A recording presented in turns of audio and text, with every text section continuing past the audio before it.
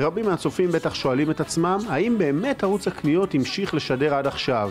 כי הערוץ המיתולוגי הזה, סמל לאמריקניזציה ולטלוויזיה הרב-ערוצית בישראל, מזוהה יותר מהכל עם ה nineties. משחק טלוויזיה הוא בעצם השעשוע הכי נפלא לכל המשפחה. זה היה ערוץ מופלא שבו 24 שעות ביממה נמכרו במחירי מבצע, לכאורה לפחות, שעונים, תכשיטים, מכשירי כושר וריהוט, והכל ממש בכיף ונפלא. טלפון אחד מהבית לערוץ, מסירת פרטי אשראי ושליח הפרידו בין הצופים למוצר שנמצא עכשיו על המרקע. זו הייתה חדשה מרעישה ב-95, עשינו גלים גדולים. מאז 1995 ועד היום הערוץ המשיך לשדר, הוא לא הצליח בענק אף פעם, אבל היו לו לקוחות נאמנים ולא מעט צופים שמעולם לא קנו בו, אבל ראו אותו כמעין גילטי פלז'ר לשעות לילה.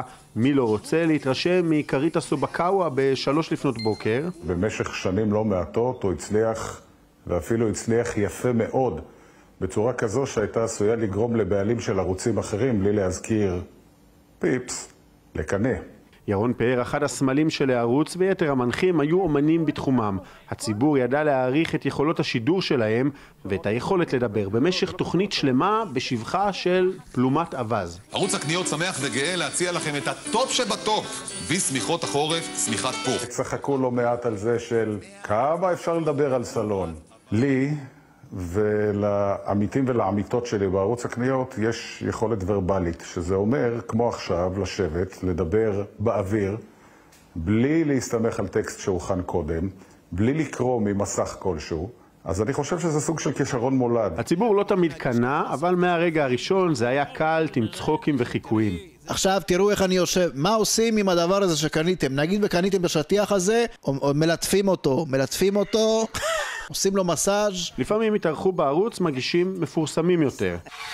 עכשיו אני הולך לנסות, בפעם הראשונה, לחייג בפלאפון באמצעות קולי. אבל את רוב המגישים, הערוץ ושידוריו המחזוריים הם שבנו כסלבס. בסופו של דבר יצא שגם זיהו, זיהו די הרבה. האינטרנט שינה את עולם הפרסום, ערוץ הטלוויזיה דעך, והיום הוא הודיע על הפסקת השידורים וסגירת החנויות הפיזיות בערים הגדולות.